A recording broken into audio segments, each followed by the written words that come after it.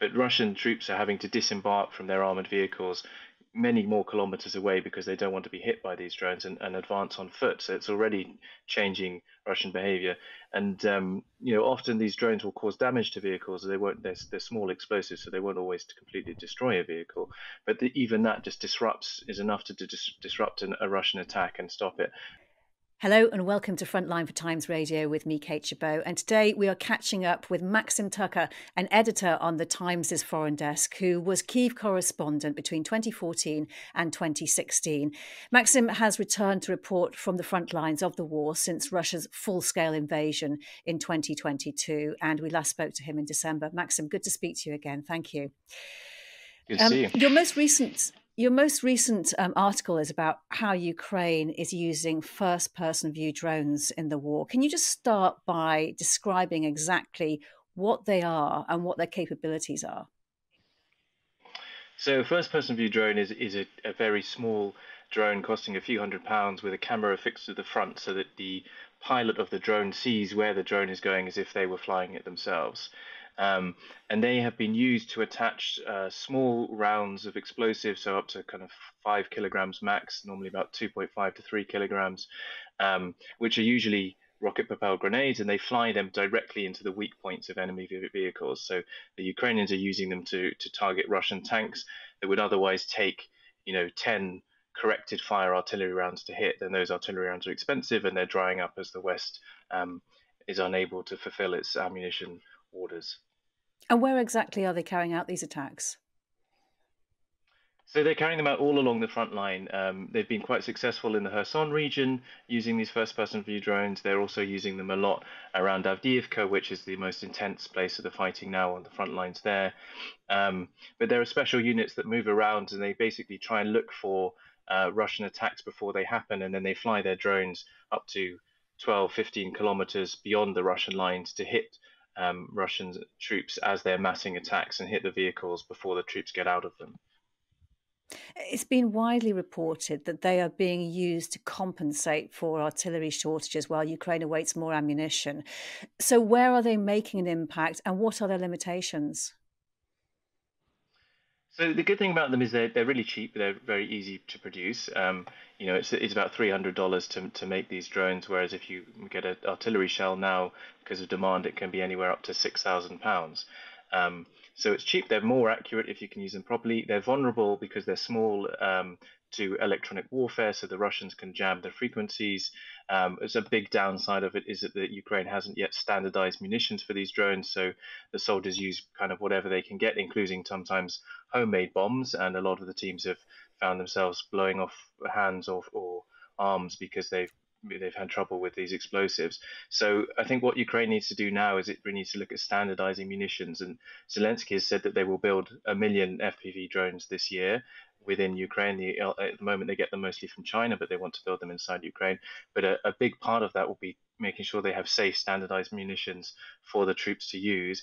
And then they also will need to develop a protocol on how they can use these drones on the battlefield, because at the moment you have lots of drone pilots trying to queue up and find um, spots where they can fly these drones from, and they're interfering with each other's frequencies. They sometimes don't coordinate attacks. So one one team who will be hunting a particular vehicle gets interrupted by another team, or another team hits the target that they were going for, and they have to adjust fire. And another thing is that although it's quite easy and quick to produce these drones, it's quite a lot harder to put, train good pilots. It can take months to train a good pilot, and even with the, the, with the schools that are training them now, it's only kind of in the hundreds that are being trained. Um, so they really drastically need to ramp up the the, the training of pilots. Um, and then those tri- those pilots also need to, to get used to working in battlefield conditions once they're trained, because it's one thing to fly a drone in a school, and it's another thing to fly a drone um, when people are shooting at you. So, who are these pilots exactly, and how are they recruited? So at the moment, it's it's been quite an interesting organic development. So it's a lot of special forces teams that have just, have realised they can have more impact these ways. Um, they've been working with uh, foundations, there's a, and and volunteer groups who are fundraising for these drones because they're commercially available and mostly they're bought from from China, brought into the country. Um, and so just some teams who've realised that these are useful weapons have been using them and advocating for them to their commanders for the past year actually. And a lot of the pilots I spoke to said they were frustrated that their commanders have been telling them, "What are you doing with these toys? They're not effective weapons." You know, and then they showed that they can actually take out hundreds of Russian vehicles using these drones, uh, and they're cheap and they're effective. And it, you know, you can use one drone to do what it would take a mortar squad an hour and, and ten rounds to achieve if they're able to strike uh, logistic supplies and affect troop movements, have you been able to get a sense of, of, quite how effective they are in stopping Russia's offensive actions? They do look very offensive because, I mean, it, it, it's already changing Russia's tactics. So Russia is also beginning to use FPV drones, by the way, but Russian troops are having to disembark from their armored vehicles many more kilometers away because they don't want to be hit by these drones and, and advance on foot. So it's already changing Russian behavior. And um, you know, often these drones will cause damage to vehicles. They won't. They're, they're small explosives, so they won't always completely destroy a vehicle. But the, even that just disrupts is enough to dis- disrupt an, a Russian attack and stop it. And the groups who were using these drones I, I, that I spoke to, she shared with me because they're very keen on on advocating how useful they are and getting more people to adopt them. They shared with me a spreadsheet of all of the kind of the strikes they've had, and you can watch the videos. So you know, lots of lots of successful hits on targets. Um, other drones sometimes capture the impact of those. You know, you can get huge explosions if they hit the right bit on a, on a vehicle. Um, and and yes, it, you know these pilots are, are destroying hundreds of Russian vehicles each. So you know a handful of pilots that I spoke to had destroyed over a thousand vehicles. Do you get a sense of how many are being used on a daily basis? So it depends on, on how many they can procure and also the, the amount of rounds that they can get because even they say that even the RPG rounds that they attach to these drones are now in short supply and they really desperately need more rounds to use for these drones. Um, I think any one team can u- use up to 20 to 30 drones a day. Um, they say they're only in the kind of hundreds of, of pilots. There aren't even thousands of pilots in Ukraine. Um, but Ukraine has said that it produced 50,000 drones in December alone. A lot of those are with Chinese components, but they're trying to move towards having more domestically produced components and being able to adapt the drones for use on the battlefield. At the moment, they're kind of commercially produced and then adapted. But Ukraine wants to, to build drones that are specifically for battlefield use. You mentioned earlier um, the trouble sometimes you have um, in terms of the frequencies and using these drones. I mean, can you just explain a bit more about that uh, and how coordinated it is in terms of selecting targets and how, how it's all conducted on the battlefield at the moment? Mm-hmm. So yeah, the, the nature of this warfare is, is really interesting because you have, as, as ever in war, you have fast electronic advancements or fast advancements in weaponry, um, and you have these drones which are being developed and used and deployed in new ways, but then the Russians are also learning to counter them. They first they, they're buying up FPV drones, but they're also producing better electronic warfare capabilities. So at the beginning of the war, Russia had kind of really huge vehicles which were jamming um, Ukrainian frequencies, but they were big targets, and you can see them. And, and over the, the, the, course of the war, these um, uh, electronic warfare things devices have got smaller and smaller, and so now they kind of increasingly see Russian troops with with handheld devices, Ukrainian troops too, anti-drone guns which can which can bring down these drones or even take over control of the drones and redirect them. Um, so that's that's going to be an increasing problem, and, and drone manufacturers will we'll have to find a way to produce more sophisticated equipment that can deal with jamming. I think at the moment, what the Ukrainian pilots do is they try to switch to frequencies that are not being jammed. They can see on their sc- screen when they get close to electronic interference, and they might have to move and dodge and try and find another way to get to the, the target that they want to hit.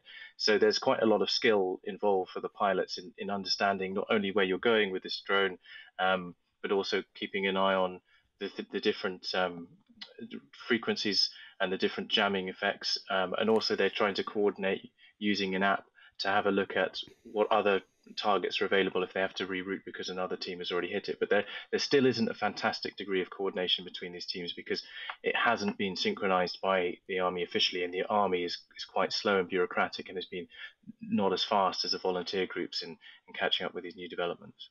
But there is a sense now that the army is going to absorb this and make this officially part of the training. Is that right? So the government is very keen on it. Um, Zelensky's made this pledge to have a million drones, and, and the Minister um, for Strategic Industries says we're going to produce these domestically. So obviously that means that there is a command from on high that these these, these are things that are useful and they should be used.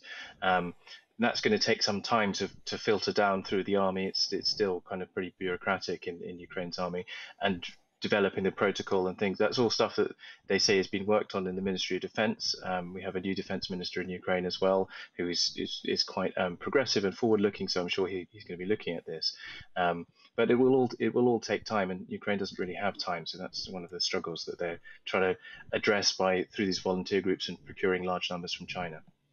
But presumably, a million, if they are produced this year, could make quite a difference. A million drones would, would make a huge difference. Um, you know, the, the, the, question will be how do they use them? Do they have enough pilots to fly them? Um, where are the pilots going to be operating from? How skilled those pilots will be? Uh, how many drones it takes to get a, a pilot up to speed and, and hit a target? Um, so those are all, and the, and the coordination of it. And you know, part of the other limitation is this is that although they can fly kind of 10, 15, 20 kilometers, they normally need to be on raised ground because they're limited by the radio horizon, um, and that means you know often they're in an exposed spot.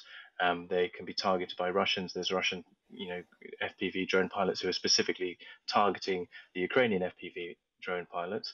Um, so it's a, it's a dangerous profession, and there's a lot of people trying to go to the same kind of places in order to fly their drones. So that's something that the army will need to solve as well. I think I think you wrote in your piece that these these pilots are actually very high value targets for the Russians.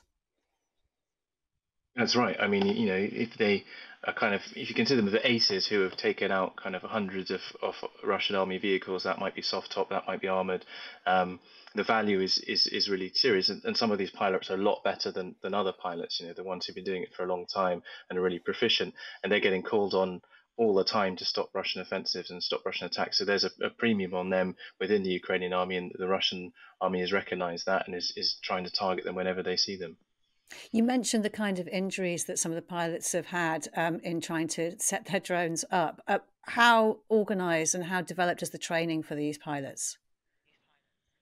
It's getting better. I think at the beginning, you know, some of the first adopters of, of this, the first pilots, said they basically had this thing as a toy, as a reconnaissance drone, and then they realized actually this can be a really useful weapon, and they started training themselves in their spare time, um, and they they developed their skills kind of organically, and then they were trying to show that this was a really useful tool to the rest of the army. It was taking time. Now Ukraine does have, um, largely thanks to volunteer groups, actually training academies um, if, in flying FPV drones. And so those are NGOs that are set up to, to try and train troops um, in the best way of using them. Um, Ukraine will obviously now need to institutionalize that. If it's going to have a million drones, it's going to need to have a lot of pilots to fly them. So it's going to have to take into uh, its own hands the training and, and not just be done by NGOs. But as a lot of stuff has been done in this war, it's, it's really been volunteers, uh, volunteer groups, and kind of people who are former military or people who are in from society with some kind of engineering background who want to help the country, who've done something to, to, to make the army progress. Um, and now the army is having to catch up. And when you were in Ukraine in December, how aware were you by the dangers posed or the threat posed by Russian uh, first person view drones?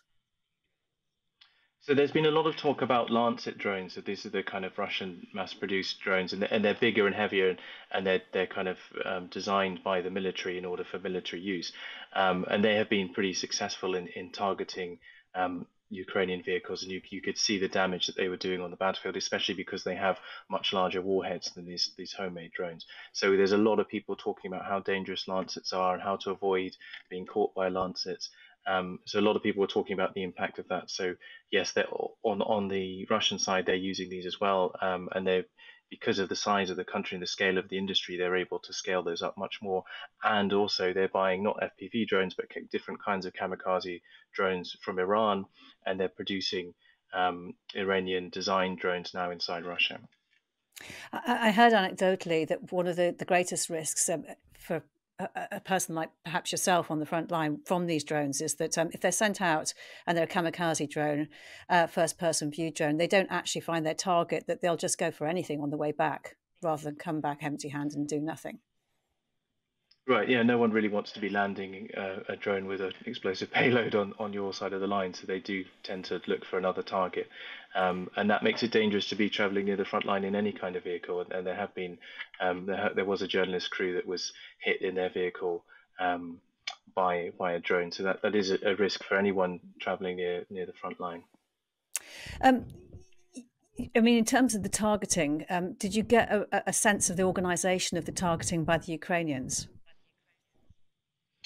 So you can you can see they have um, quite an advanced system on, on their tablets where they have uh, you can pull up multiple drone feeds. You can see the reconnaissance drone feeds, and they can select targets from there.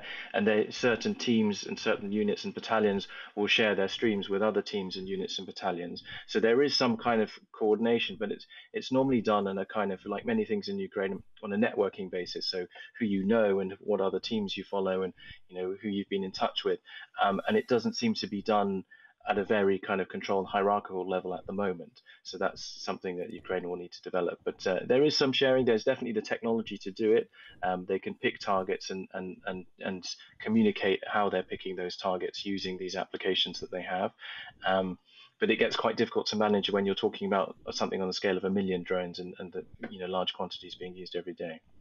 And how is Ukraine defending itself against Russia's FPV drones? Because its its electronic warfare, as I understand it, is deemed to be less effective than that of Russia. Well, they've got less money to spend on it, um, and you know they have. It's difficult for them to build um, their own electronic warfare devices because of the constant attacks by Russia. But I think that's something that we've seen in, in Zelensky's New Year address. He was really determined to say, okay, look, actually, our Western partners are not necessarily as reliable as we thought they were. So Ukraine needs to step up and produce its own weapons and manufacture its its own um, electronic warfare devices. And so that's something Ukraine is, is going to be trying to do, and and um, it's going to be really important for Ukraine this year. But that still does depend to a large degree on the air defenses. So Ukraine is be able to kind of start making these long-term economic plans because Western supplied air defenses have been quite good at defending cities and shooting down Russian cruise missiles. Um, with you know the US stalling its its aid to Ukraine, which includes you know normally there's a lot of anti-aircraft missiles included in those packages, um, and the EU struggling to fulfil the quotas it said it would supply to Ukraine. That's going to be a, a worry for Zelensky, and, and, you know Zelensky in fact said it's going to be impossible for Ukraine to survive if both the EU bill and the US bill are continue to be held up. You mentioned earlier that um, these FPV drones are being bought from China. Russia's doing the same. Um, it being the number one manufacturer of, of, them, uh, how did the industry actually start and develop?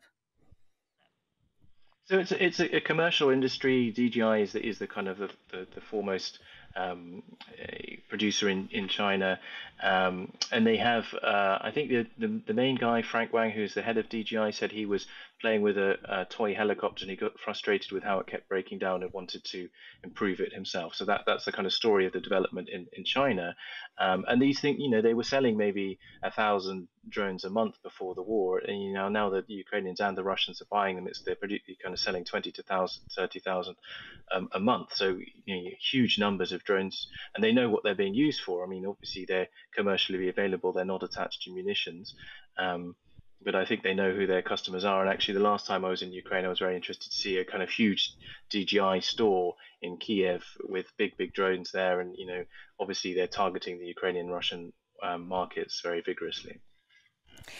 How do you? Um, I, I, was reading from the Institute of Study of War. They were talking about um, Russia and Ukraine being sort of locked in this kind of race now, almost like a technology race, uh, to see who can get the upper hand. And you have Ukraine uh, relying on these drones sort of almost as a kind of I don't know if it's like the correct way to describe it, but almost like a DIY kind of alternative to coping while it's waiting for air superiority. How important do you think this technology race is at the moment when you see this war being in, in a situation where it's, it's, it's largely positional and there's not an awful lot of progress on either side?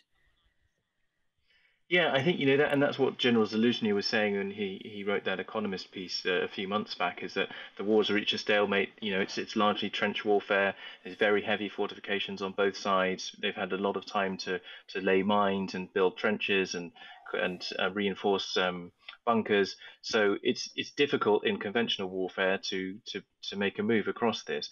Um, one of the ways that they can can make advances, especially on the Ukrainian side, because they're really concerned about losing manpower, is is use of drones and and robotics as well. The Ukraine is also developing different robots that can advance onto the battlefield um, and you know mount weapons on them and without having uh, any form of human involved in the front lines to keep them safe. So those kind of things are things that the Ukrainians are desperately looking at because they know that they are at the moment outgunned by Russia. Um, you know, there is still a, a, a possibility that, you know, especially if, if the West doesn't supply Ukraine with the ammunition it needs, that Russia, through its kind of sheer force of numbers, you know, great, bigger country, bigger industry can just overwhelm Ukraine. I think they've still got that on their side. Um, but Ukraine, for Ukraine, it's it's really important to fight an asymmetric war where they're taking less casualties and they can employ technology as much as possible. And Ukraine obviously is at pains to try and develop its own industrial production, its defense industry. Uh, what signs are you seeing of that? So, I mean, it's a, it's a, it's a very interesting development that Zelensky is talking about a million drones. It's very interesting that the ministry is saying we're now going to take over the domestic production of those, particularly when it's so easy to buy Chinese drones. But it's a recognition about the strategic importance of, of that industry.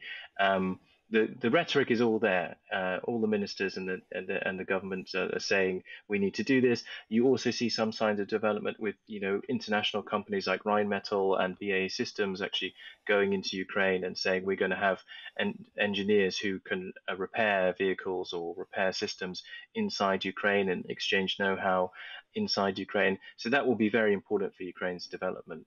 Um, but it's still quite early days, I would say. You know, Ukraine for the first two years has kind of been in survival mode, then then hoping for its offensive, um, and now it's only setting in that this is going to be a really long war, and we need to prepare for it accordingly. And part of those preparations is making sure that it has the strategic industries in place to produce arms.